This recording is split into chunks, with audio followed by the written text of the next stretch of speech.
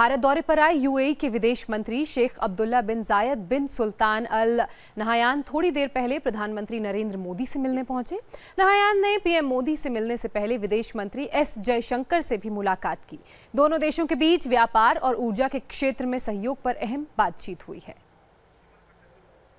तो तस्वीरें आप देख रहे हैं, ये मुलाकात की तस्वीरें हैं जब यूएई के विदेश मंत्री शेख अब्दुल्ला बिन जायद बिन सुल्तान अल नहायान प्रधानमंत्री नरेंद्र मोदी से मिलने पहुँचे और दोनों के बीच काफ़ी लंबी ये बातचीत चली। इससे पहले आपको बता दें कि यूएई के विदेश मंत्री ने जयशंकर से भी मुलाकात की और दोनों ने, दोनों देशों के बीच व्यापार, ऊर्जा के क्षेत्र में सहयोग पर अहम बातचीत की।